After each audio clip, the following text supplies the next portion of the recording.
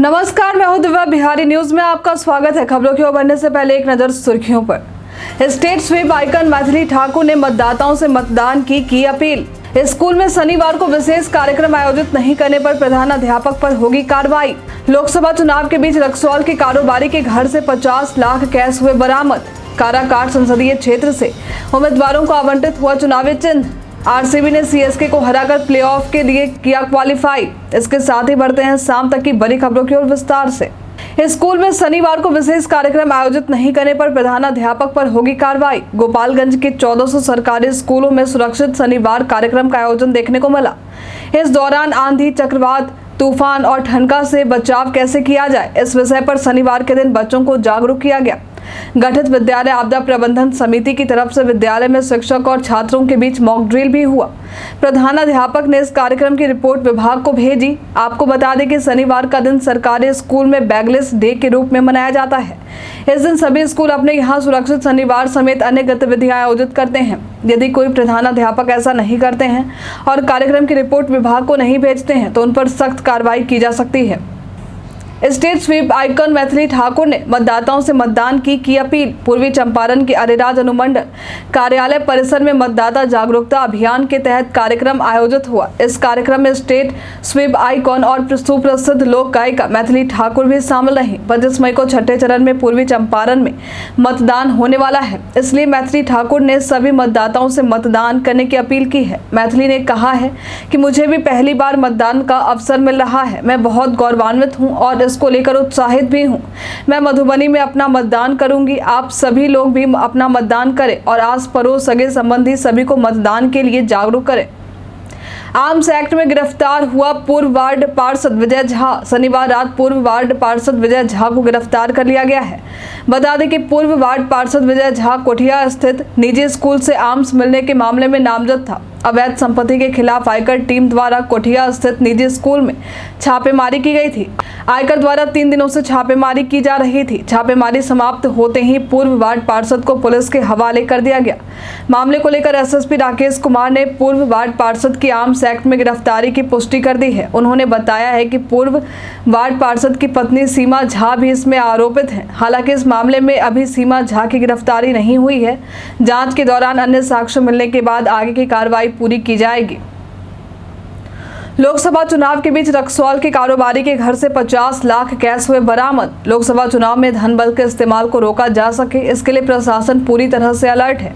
इसी कड़ी में मोतिहारी में 50 लाख से अधिक कैश बरामद किए गए हैं। ये कैश रक्सौल में हुंडी और मीठा कारोबारी ध्रुव शाह के घर से बरामद हुए हैं। पुलिस अब इस मामले की छानबीन कर रही है की आखिर इतने कैश किस काम के लिए रखे गए थे? कहीं ये चुनावी उपयोग के लिए तो कैश नहीं थे। मामले को लेकर ध्रुव शाह के घर से ये रुपए जब्त करने के बाद पुलिस पूछताछ कर रही है। कारोबारी के घर से कैश के अलावे नोट गिनने की मशीन भी जब्त किए गए हैं।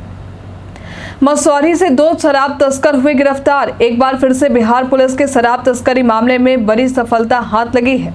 मसौरी के सुकठिया गाँव से शराब तस्कर 90 लीटर देसी शराब लेकर जा रहे थे, जिसकी भनक पुलिस को लगी और इस दौरान आबकारी पुलिस ने दो तस्करों को गिरफ़्तार कर लिया है। गिरफ़्तार हुए तस्कर में एक मनेर के रामजीचक का रहने वाला विवान उर्फ़ मुकेश कुमार है और दूसरा शाहपुर थाना के सराय हथिया हथियाकंद का रहने वाला अमित कुमार है। दोनों ही आरोपियों से पुलिस पूछताछ कर रही है। काराकाट संसदीय क्षेत्र से उम्मीदवारों को आवंटित हुआ चुनावी चिन्ह। काराकाट संसदीय क्षेत्र से मुकाबला काफ़ी रोचक होने वाला है। इस सीट पर मुकाबला त्रिकोणीय होने वाला है। उम्मीदवारों को चुनाव चिन्ह भी आवंटित किए जा चुके हैं। जिला निर्वाचन पदाधिकारी ने बताया है कि चुनाव आयोग से अनुमोदन मिलने के बाद आज सभी उम्मीदवारों को सिंबल जारी कर दिया गया है। इसी कड़ी में पवन सिंह को चुनाव चिन्ह के रूप में कैची छाप मिला है। उपेंद्र कुशवाहा को गैस सिलेंडर और इंडिया गठबंधन के राजा राम सिंह को तीन सितारों वाला झंडा। आपको बता दें कि काराकाट से तेरह उम्मीदवार चुनावी मैदान में हैं। एनडीए और इंडिया गठबंधन प्रत्याशी व निर्दलीय उम्मीदवार पवन सिंह के बीच टक्कर का मुकाबला होता दिख रहा है। पवन सिंह के चुनावी कैंपेन में लोगों की गजब की भीड़ देखने को मिल रही है। भाकपा माले ने के के पाठक के फैसलों को बताया तुगलकी फरमान। बिहार के सरकारी स्कूलों को सुबह सुबह छह बजे से लेकर दोपहर के डेढ़ बजे तक खोले रखने पर भाकपा माले का बयान सामने आया है। भाकपा माले राज्य सचिव कुणाल ने कहा है कि आदेश पूरी तरह से अव्यवहारिक है। इसके कारण छात्रों और शिक्षक समुदाय को भारी परेशानियों का सामना करना पड़ रहा है। शिक्षा विभाग के अपर मुख्य सचिव के के पाठक इस प्रकार के तुगलकी फैसलों के कारण बदनाम हो चुके हैं। शिक्षा विभाग में सुधार से ज़्यादा वो परेशानियों के सबक बने हुए हैं। फिर सीएम नीतीश उन पर किसी तरह की कार्रवाई क्यों नहीं कर रहे हैं? ये बहुत ही दुखद है। जदयू के केसी त्यागी ने पार्टी को लेकर लिया बड़ा फैसला। लोकसभा चुनाव के बीच जदयू के राष्ट्रीय प्रवक्ता और यूपी के प्रभारी केसी त्यागी ने यूपी की इकाई को भंग कर दिया है। उन्होंने बताया है कि निष्क्रियता और अनुशासनहीनता की वजह से उत्तर प्रदेश पार्टी की इकाई को अविलंब प्रभाव से भंग कर दिया गया है। केसी त्यागी ने जो पत्र जारी किया है, उसके मुताबिक पूर्व प्रदेश अध्यक्ष अनूप सिंह पटेल यूपी इकाई के संयोजक नियुक्त हुए हैं। अवधेश कुमार सिंह और खुशनवाज अंसारी पार्टी के सह संयोजक का पद भार संभालेंगे। नवगठित कमेटी यूपी चुनाव में एनडीए के उम्मीदवारों का समर्थन करेगी और चुनावी अभियान में बढ़ चढ़कर हिस्सेदार बनेगी। तेजस्वी और मुकेश सहनी का एक और वीडियो हो रहा वायरल। चल रहे लोकसभा चुनाव के बीच एक बार फिर से तेजस्वी यादव और मुकेश सहनी का वीडियो सामने आया है। इस वीडियो में दोनों ही नेता हेलीकॉप्टर में सवार चुनावी जनसभा को लेकर एक जगह से दूसरी जगह जा रहे हैं। दोनों ही एक दूसरे से चुनावी जनसभा की चर्चा करते नज़र आ रहे हैं। वीडियो में दोनों बात कर रहे हैं कि एक दिन में हमने सात जनसभाएँ की हैं और अब तक एक सौ सतहत्तर से अधिक जनसभा कर चुके हैं। आगे वे कह रहे हैं कि इस बार इंडिया गठबंधन के साथ महिलाएँ भी हैं और सभी को महागठबंधन पर भरोसा है। हमें अपनी चुनावी घोषणा पात्र में जो बातें बातें कही हैं। लोगों को उस पर पूरा भरोसा हो रहा है। मुसलमानों के आरक्षण पर बीजेपी नेता सहनवाज हुसैन का बयान। मुसलमानों के आरक्षण को लेकर बीजेपी नेता सहनवाज हुसैन का बयान सामने आया है। उन्होंने कहा है कि पीएम ही मुसलमानों के सच्चे हितैषी हैं। आगे उन्होंने दावा करते हुए कहा कि 2024 में देश में फिर से मोदी का पीएम बनना तय है। पूरे देश में मोदी की लहर ही नहीं, बल्कि सुनामी चल रही है। अल्पसंख्यक समाज को नरेंद्र मोदी को वोट देकर पीएम बनाने का मिशन पर काम करना चाहिए। डूबती नाव की सवारी करना अल्पसंख्यक समाज बंद करे। पटना साहिब में निर्दलीय उम्मीदवार अवधेश प्रसाद का चुनावी चिन्ह स्कूल का बस्ता। पटना साहिब में एक जून को चुनाव होने वाला है। यहाँ से भाजपा के रविशंकर प्रसाद, कांग्रेस के अंशुल अभिजीत और निर्दलीय उम्मीदवार अवधेश प्रसाद समेत सत्रह प्रत्याशी चुनावी मैदान में उतरे हैं। निर्दलीय उम्मीदवार अवधेश प्रसाद पेशे से एक रिटायर्ड इंजीनियर हैं। इनका चुनाव चिन्ह स्कूल का बस्ता छाप है और क्रम संख्या चौदह है। आपको बता दें कि पटना साहिब का चुनाव आखिरी चरण में होने वाला है। उसके बाद चार जून को लोकसभा चुनाव का रिज़ल्ट सामने आ जाएगा। सातवें चरण में भाकपा माले के तीनों प्रत्याशी एनडीए के प्रत्याशी को दे रहे कड़ी टक्कर। इंडिया गठबंधन में भाकपा माले को तीन सीटें दी गई हैं, जिसमें आरा, काराकाट और नालंदा संसदीय क्षेत्र शामिल है।